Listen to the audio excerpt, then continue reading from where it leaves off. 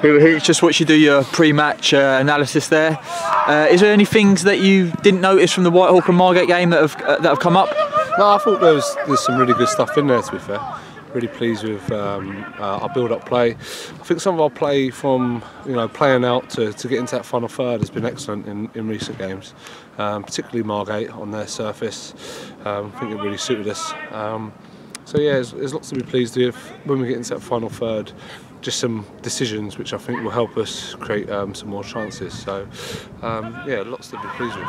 Looking forward to Saturday. We, we invite Lewes here. Um, they've taken two points from the last four games. Is it a good time to play Lewes? Um, never a good time to play Lewes. Um, you know, I really admire the job that Darren and Ross have done there. Um, you know, to, to go up and then be competitive like they have been, you know, it does take some um, doing and, you know, full credit to them. You know, they've done it, you know, a while before and now at Lewes. Uh, so, you know, there's, there's, never going to be a good time to play them. They come full of experience, um, them two in particular, uh, as a management team, and they've got a good crop of players. Some that we all know from being here last year with us. Um, so you know that we're going to have to be at our level best to get anything from the game. Just want to go through a, a list of a few players. Obviously, James Crane concussion the other day. Is there an update there? Um, he, he's training, but you know both myself and Nat are a bit sort of cautious and going to monitor him very closely tonight. Um, but I can't see Saturday or Tuesday him being quite ready for, if I'm being honest. Um, so yeah, we just have to have to monitor it. I think it's only a bit too soon. If he gets, goes up for a header, he won't be no good to us. And uh, he was in a bad way after the game on Saturday. Notice Clark, he's back out there training. He's got over his sickness. Is that right? Yeah, that's it. Yeah, he, he um, picked up a bug um, for Saturday. Was involved Tuesday. Still didn't feel 100%, but felt a lot better. And uh, yeah, got some minutes uh, for his college team yesterday. So he's feeling a lot better and more up to speed. So yeah, it's a good sign for us.